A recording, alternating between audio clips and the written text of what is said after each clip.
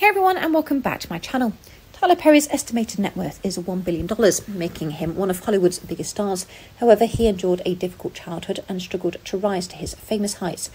Tyler Perry is one of the biggest names in Hollywood. He holds many roles as an actor, director, producer, and screenwriter, and has created many projects that remain relevant today.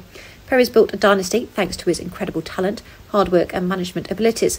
Thus, it's no surprise that he is one of Hollywood's wealthiest stars. However, he did not find success easy to come by, as he endured a traumatic childhood and multiple challenges before eventually finding a breakthrough. While growing up, Perry faced brutal physical abuse from his dad, Emmett, and severe sexual abuse at the hands of several adults. These abuses went on for years, and he never felt the same in his home or outside. Perry revealed his childhood experiences during a chat with media mogul Oprah Winfrey. He described his early years as a living hell before adding that he felt like he died as a child Perry said he used his um, imagination to escape the difficulties he faced as a child. For example, whenever someone did something terrible to him, he imagined himself playing at a park his mom and aunt had taken him to. Perry recalled a particular beating he received from his dad, which he said he would never forget. He said his father whipped him with a vacuum cord and added, To this day, I don't know why he did it, but I remember him cornering me in a room and hitting me. He would just not stop. I had to wait for him to go to sleep. When Tyler's dad slept, he ran to his Aunt Jerry's house and showed himself to her. Aunt Jerry picked up a gun and went to Perry's father. That same day, she told Perry's mom, Maxine, never to leave him alone with his dad. Afterward, she took him everywhere she went. However, the beating did not end there. Perry's dad hit him another time, causing him to black out for three days. After that, Perry lived in fear of his father and attempted suicide. Perry also records suffering severe sexual abuse at the hands of four different adults, including a male neighbour, a male nurse, a man he knew from church, and his mom's friend before the age of 10. However, Perry's mom saved him and took him to church with her despite these difficult challenges. Her faith in God inspired him, which helped him grow through that phase. Perry had a special bond with his mom and once revealed how he cherished her laughter above anyone else's. He said, but most important for me was my mother, that I could be a source of joy for her, that I could make her smile, that I could make her laugh, and that I could tell a joke, or that I could dance and see her smile and laugh. That's what meant the world to me.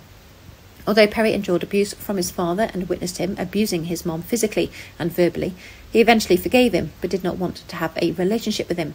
However, that realization did not stop him from forgiving him and supporting him financially. He told people about how he forgave his dad. It took a tremendous amount of prayer, but the biggest thing that helped me understand it is that me holding on to what I was holding on to wasn't hurting him, but it was killing me. After forgiving Emmett, Perry felt a huge burden lifted off his shoulders and he felt lighter inside. Also, he decided to thread a positive and inspirational path because he never wanted to feel the way he did before forgiving his dad. Perry did not grow up having mentors, and his dad and relatives knew nothing about business. In addition, he did not go to business school, thus, he learned all he knows today progressively. The young Perry was inspired to write out about the stress he felt after watching an episode of Winfrey's talk show. He spent his 20s touring small theatres around the country and performing the plays he had written, produced, and starred in. Perry dropped out of high school and gained knowledge any way he could. In his early 20s, he worked at the Windsor Court Hotel in New Orleans, where the annual National Association of Television Program Executives conference was held. Thanks to the job, he could sneak into closed gatherings using badges left behind in empty rooms. Thus, he met many influential people, including game show host Pat Sajak. Perry started writing scripts in combination with selling cars and serving as a bill collector. Through his jobs, he saved up $12,000, with which he rented a space at the Community Theatre in Atlanta. There he produced work he had drafted in his free time.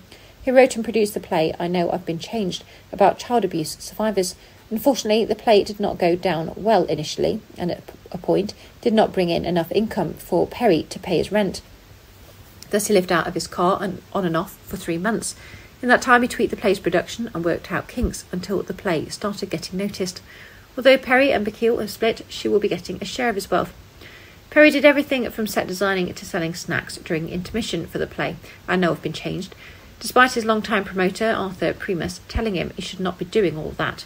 He continued touring relentlessly and gradually built a strong following among black Americans, especially those who went to church. Most of his followers were older women like his mom. Many of these people loved watching his character, Madea, which became a must-see spectacle on Chitlin Circuit, a loosely defined network of small theatres in American black communities. After seeing one in Los Angeles, Winfrey was enamoured by Perry's plays and confessed to being changed by it. Moved by what she saw, she invited him to her talk show in 2001. Backstage, the pair discussed money with Winfrey, offering Perry a secret he was already learning on his own. She told him it was important for him to write his own checks and be fully in control. Winfrey became Perry's friend, sounding board, and catalyst. He started raking in thousands of dollars and had already made over a $100 million from theatre tickets, moved merchandise worth $20 million, and earned $30 million through video sales before making his first movie or TV show. Perry's Hollywood emergence did not come easy and seemed unlikely at first, as he struggled to get television networks to air his shows. However, when CW emerged following the merger between UPN and WB, they needed content, and he provided it readily. As a result, it aired as House of Payne, which pulled in excellent ratings. Through that, he has become enormously successful and has been running the numbers ever since, releasing new movies, shows, and buying estates. It does not look like there is anything that can stop Perry. Madea is Perry's most famous character. Despite being a feminine character, he chose to play it because it was based on his mother and several other mature women in his life, including his aunt. Perry portrayed the character wearing drag and characterised Madea's sharp tongue and gun toting but funny personality incredibly well. Madea has appeared in several Perry productions, including Diary of a Mad Black Woman, Madea's Family Reunion, Madea's Class Reunion, and many, many more. Today, Perry is a billionaire and one of the wealthiest entertainers, thanks to his lucrative library of TV shows and movies, 330 acre Atlanta film studio, and multiple investments. Perry took Architectural Digest on a tour of his sprawling Atlanta based Tyler Perry Studios. The majestic edifice is larger than Warner Brothers and Walt Disney's Burbank Studios combined.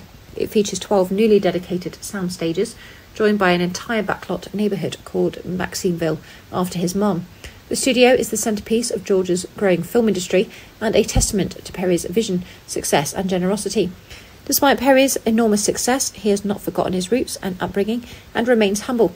For example, on August 28, 2019, he shared a snapshot showing a sign near the street where he made his first steps to fame. The picture showed that the street was renamed after him, and it filled him with so many emotions that he shared his feelings with his fans. He wrote, Driving into work today, I saw these signs on the highways being changed, my eyes filled with water, knowing what God has allowed to happen in my life. Perry said Atlanta had been the promised land for him. He said he came to the city with nothing and lived off a Sylvan Road. He recalled how he ended up homeless and starving, but never stopped praying and believing. He added, I was always keeping the faith, knowing that if I worked hard, did my absolute best, kept my integrity, honoured every blessing, and remained grateful through it all, that everything would work out, and it has, thank God. Perry shared a scripture passage with his followers and encouraged them to pursue their dreams and stay the course despite the setbacks. Perry is undoubtedly a hard working man, but this does not mean he does not have time for other things. The billionaire dated Gelila Bikil, an Ethiopian born model, filmmaker, and activist from 2009 to 2010. They, named, they share son named Aman, who they welcomed in 2014. Perry and Bikil kept their relationship private, Thus, no one knew they had split until he shared a post on December 16, 2020, revealing he was single and going through a midlife crisis. Following the couple's split, a source told people their focus was on being the best parents for their son. Perry is a doting father of his only child and odd essence of his dreams for Aman, saying, in my mind, what I would love to say is, How are the keys to the studio? I'm 80 years old now, go do your thing. But if that's not his dream, I just want to I just want whatever it is that he does to be special and amazing. Although Perry and Bikil split, she will still get a share of his wealth. The entertainment mogul said this himself during an interview with T.I. on Rappers Expeditiously podcast. The interview happened before the former Lovebird split, and Perry had only lovely words to say about Bikil, although he did not mention her name. When asked why he was not married yet, Perry replied, I have someone who is wonderful, and she's getting her share of it all. He also expanded on why he chose to keep his family away from the spotlight, saying he and Bikil were good at that. Perry added that it was good for a man's development to be away from the spotlight and be clear on who he is before people start telling him. Thanks for listening. Please like, comment, and subscribe.